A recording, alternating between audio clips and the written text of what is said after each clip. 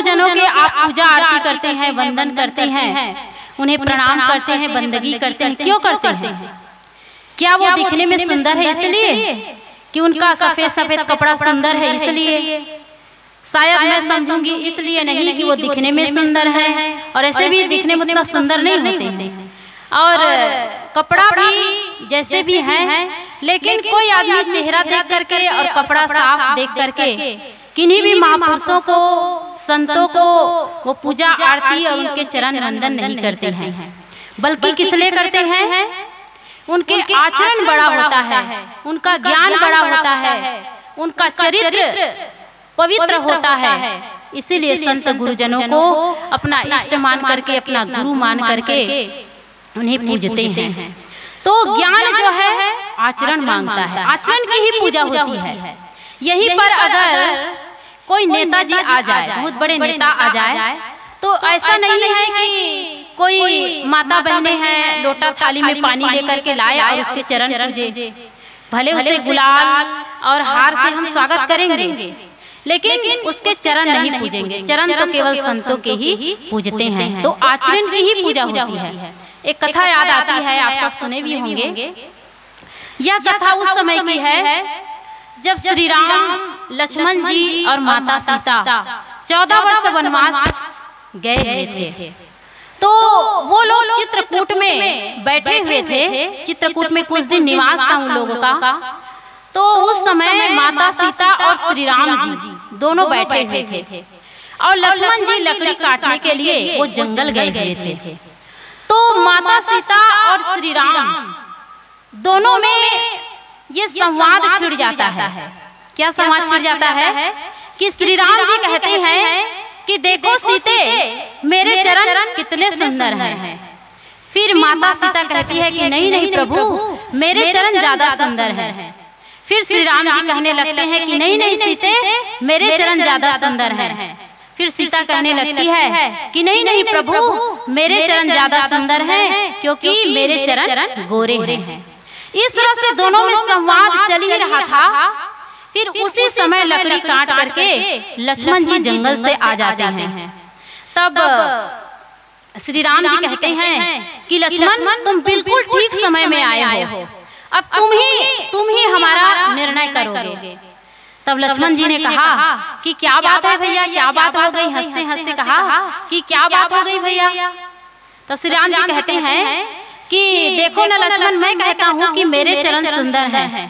तो सीता कहती है कि मेरे चरण सुंदर है। अब तुम बताओ कि किसके चरण सुंदर हैं?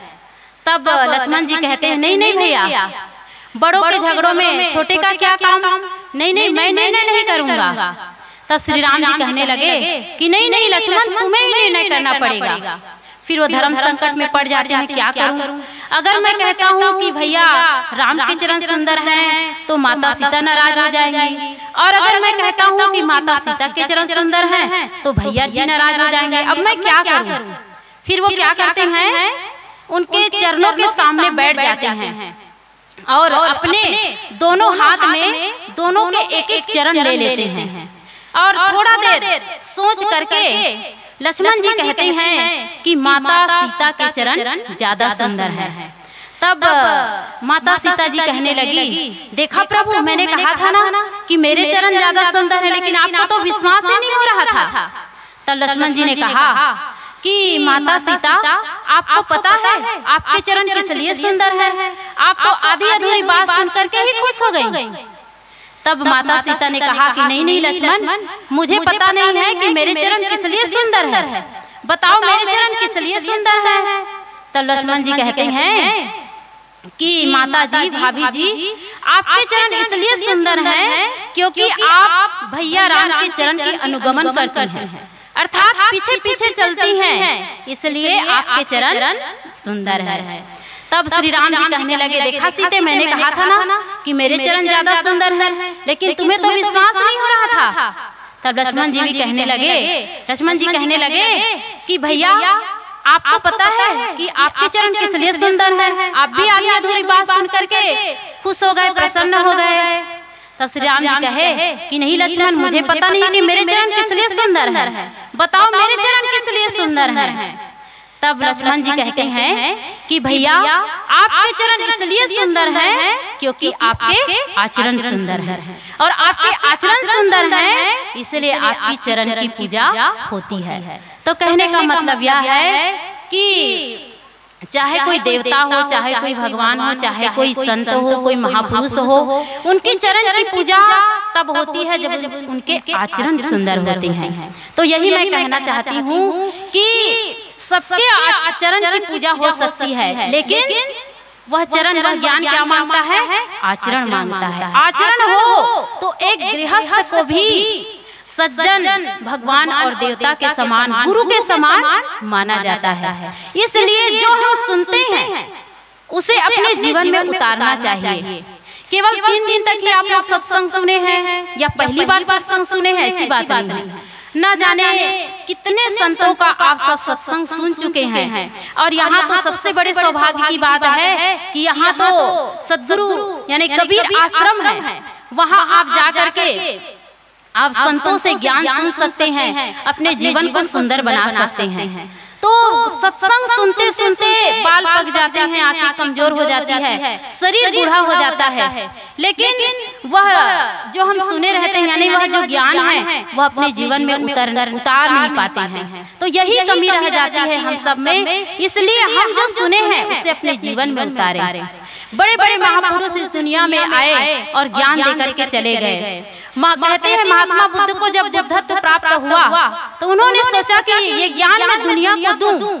लेकिन फिर उनके मन में हुआ कि ये ज्ञान के पिपासु कोई होंगे? ऐसे उनके मन में हुआ नहीं नहीं मैं ज्ञान मैं ये ज्ञान का उपदेश नहीं दूँगा। फिर थोड़ी देर बाद उनके मन में हुआ कि जैसे मुझे मुझे शांति की पिपासा थी मुझे लगता था कि वो शांति मिले वो ज्ञान मिले। और मुझे मिल गया तो मैं आज शांति शांति महसूस करता हूँ। तो हो ना हो इस दुनिया में ऐसे कोई ना कोई तो ज़रूर होंगे जो शांति के मोक्ष और कल्याण के इच्छुक होंगे। तो उन्होंने धर्म का उपदेश देना शुरू किया। और कहते हैं कि वेद व्यास जी ने कहा है कि मैं दोनों हाथ ऊपर उठा करके कहता हूँ कि धन और भोग धर्म से ही मिलता है लेकिन आदमी को विश्वास नहीं होता है। गोस्वामी जी ने भी कहा है कि रामायण अनहरत सिख जगभयो है भारत ने और तुलसी सट को सुने कली कुचाल पर गोस्वामी जी ने कहा कि मैं दुनिया के लोगों को ये कहता हूँ कि राम लक्ष्मण भरत शत्रुघ्न की तरह भाई भाई में प्रेम रखो। लेकिन दुनिया के लोग उल्टा चलते हैं। कौरव और पांडव की तरह राग और द्वेष करके लड़ाई लड़ते हैं। इस सर वो कहते हैं इस कली काल में मेरे जैसे सट अर्थात मेरे जैसे मूर्ख की बात कौन सुनता है? बड़े बड़े महापुरुष हताश हुए हैं। इसी प्रकार कहते हैं कि स्वामी विवेकानंद बहुत बड़े ज्ञानी महात्मा थे। वो ज़्यादातर विदेशों में रहते थे। तो वही विदेश में थे उस समय अमेरिका में शायद। तो उन्होंने अपने भारत उनके कुछ शिष्य गण थे उनके पास वो पत्र भेजते हैं। कि जाओ चारों दिशा में जाओ। और दुनिया को जगाओ दुनिया को एक अच्छी सीख दो जीवन जीने की कला सिखाओ। तब उनके शिष्य चारों दिशाओं में फैल गए। देखते हैं कुछ दिन बीतने के बाद कुछ परिवर्तन नहीं हो रहा है। गुटखा पान तंबाकू खाने वाला वैसे ही नशा में पड़ा हुआ है। और कमाने खाने में ही लगे हुए हैं। तब उनके शिष्य गण पुनः स्वामी स्वामी विवेकानंद जी के पास पत्र भेजते हैं और पत्र में लिखते हैं कि कहते हैं कि स्वामी जी कोई सुधार नहीं हो रहा है। सब लोग जैसे के तैसे पड़े हैं। तब स्वामी विवेकानंद जी पुनः पत्र भेजते हैं अपने शिष्यों के पास और कहते हैं कि सब बकवास है सब बेकार है। जाओ अपना ध्यान करो अपनी साधना करो। और सदगुरु कबीर साहब जी की बात क्या कहना? कहते हैं कि देश विदेश से हो फिरा गाँव गाँव की खोरी ऐसा कोई ना मिला जो लेवे फटक पछोरी। सदगुरु कबीर साहब वो भी हताश हुए होंगे दुनिया के लोगों को देख करके। वे केवल गाँव में नहीं नगरों में नहीं देशों और विदेशों में जा करके दुनिया के लोगों को जगाते रहे। लेकिन उन्हें उन्हें उन्हें भी बहुत कम लोग मिले होंगे जो उनके ज्ञान के पिपासु हुए होंगे। तो मैं यही कहना चाहती हूँ कि जो हम सुनते हैं उसे अपने जीवन में उतारे एक उदाहरण देते हैं कि जैसे अगर हम अपने जीवन में सुनते हैं और अपने जीवन में नहीं उतारते हैं तो उस हाथी के समान है। जैसे कहते हैं कि हाथी होता है। शायद आप लोग देखे होंगे मैं तो नहीं देखी हूँ। कहते हैं हाथी जो है पानी में घंटों नहाता है।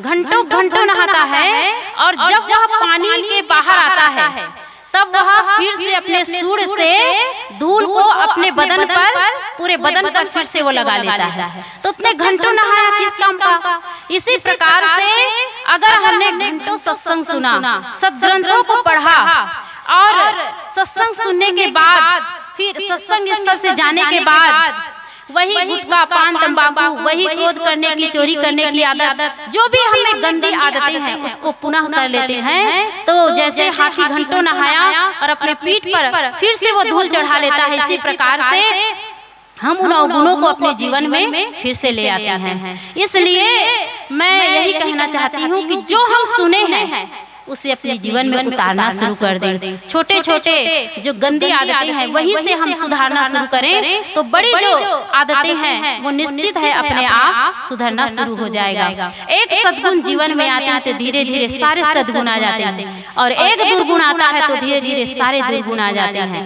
इस तरह से आप सब ज्ञानी हैं ऐसी बात नहीं है कि कोई मंच पर बैठ करके कोई संत महात्मा बताए तभी तभी आप सुनेंगे तभी आपको ज्ञान होगा ऐसी बात सबके पास वो योग्यता है वो गुण है और उसे बस उद्घाटित करना है। सबके अंदर वो योग्यता है वो ज्ञान है। बस उसे अपने जीवन में उतारना है। एक छोटे से चुटकुला बता कर मैं अपने वाणी की राम जाऊँगी कहते हैं कि दो मित्र मिले। दो मित्र मिले तो एक मित्र ने दूसरे मित्र से प्रश्न किया कि यार ये बताओ कि मेरी झोली में क्या है? तुम बता दो कि मेरी झोली में क्या है? तो सारे अंडे तुम्हारे और तुम ये बता दो कि गिनती में कितने? तो आठ के आठ अंडे तुम्हारे। और तुम ये बता दो कि अंडे किस जानवर के हैं? तो मुर्गी भी तुम्हारी। तो दूसरा, उसका मित्र क्या कहता है?